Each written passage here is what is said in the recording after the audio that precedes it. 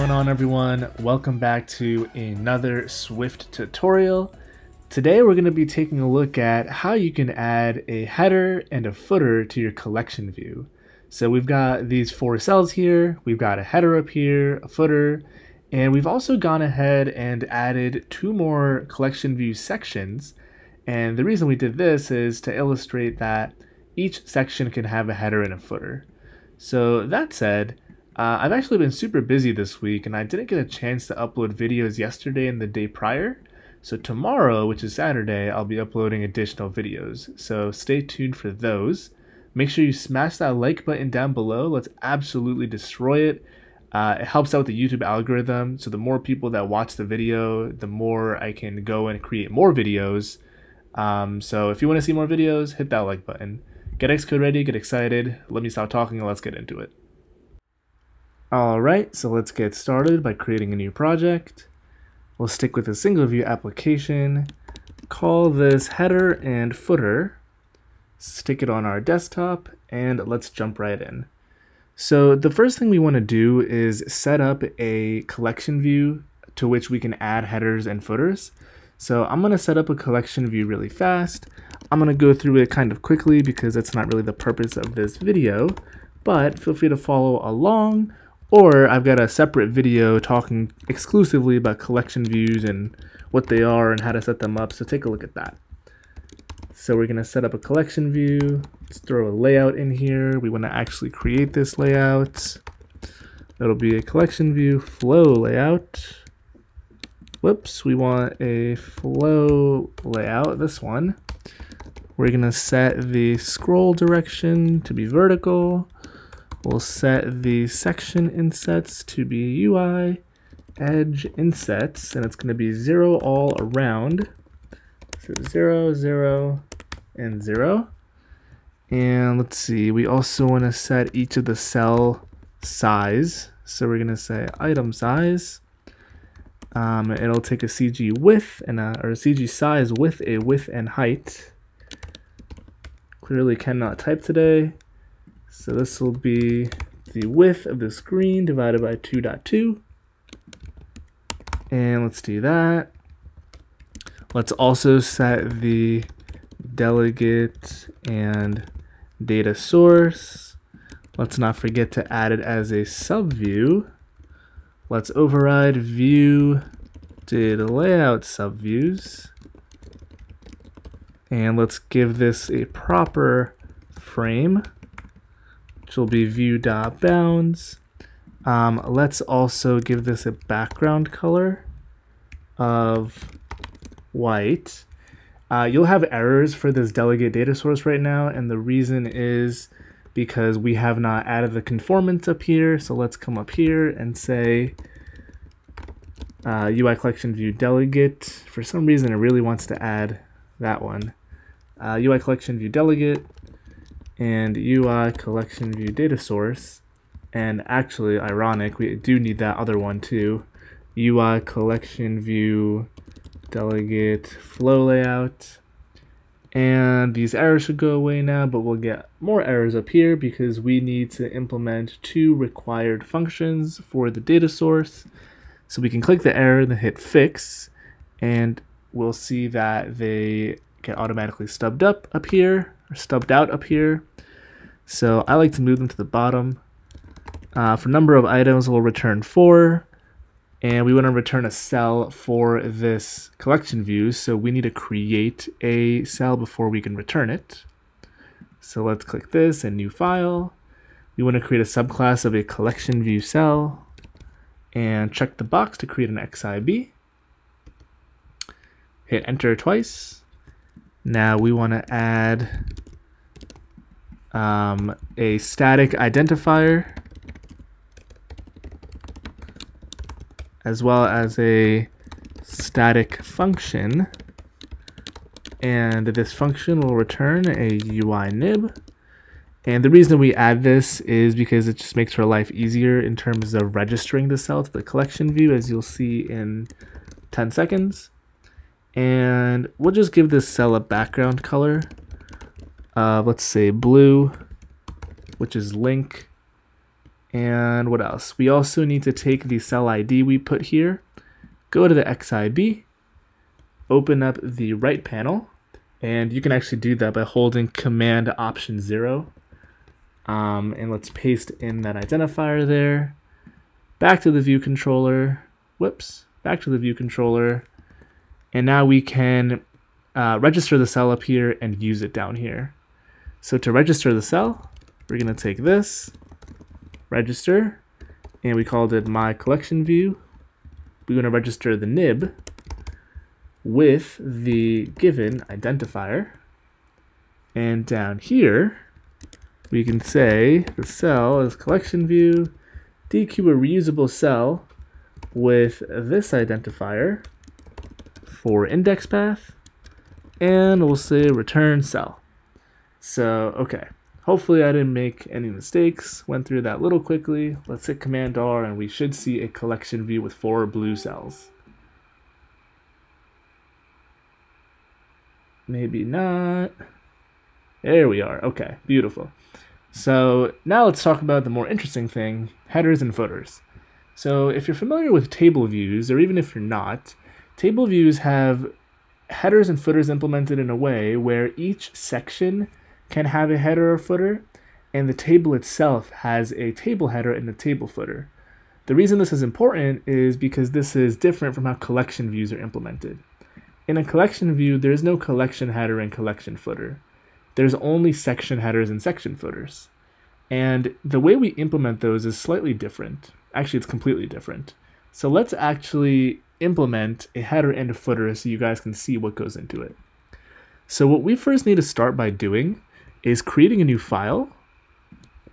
And these headers and footers are actually subclasses of a UI collection view reusable UI collection reusable view. So similar to how we create a reusable cell and dequeue it, the header and footer needs to be created in this fashion as well. So let's call this one header. And we're not going to create an XIB for this. We'll just leave it as is, unchecked. Hit enter twice. And similar to the cell, we're going to come in here and give it an identifier because we need to regis register this to the collection view.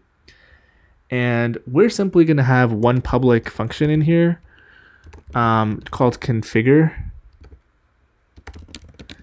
And we're going to call this, and all we're going to do is say um, background color is, let's say, system green.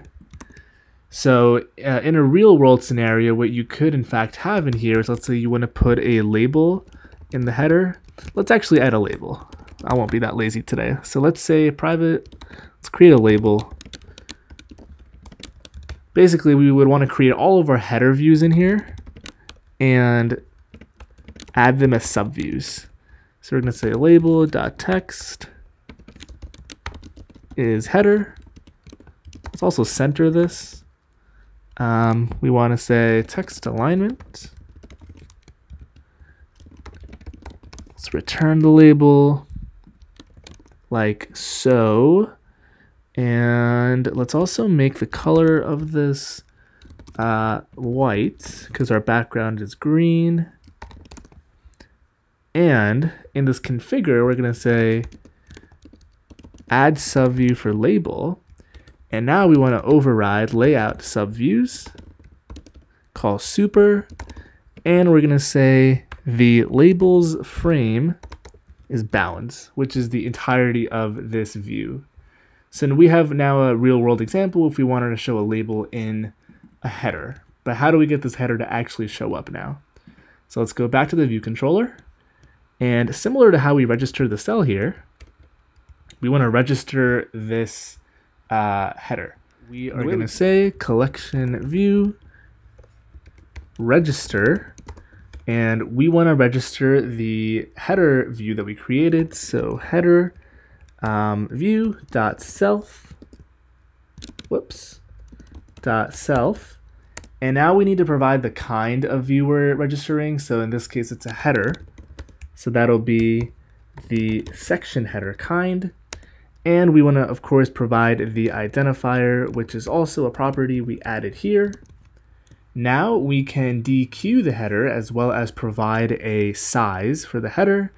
So let's dequeue it in the function that's called view for supplementary view. And basically in here, we can dequeue a header view similar to the cell.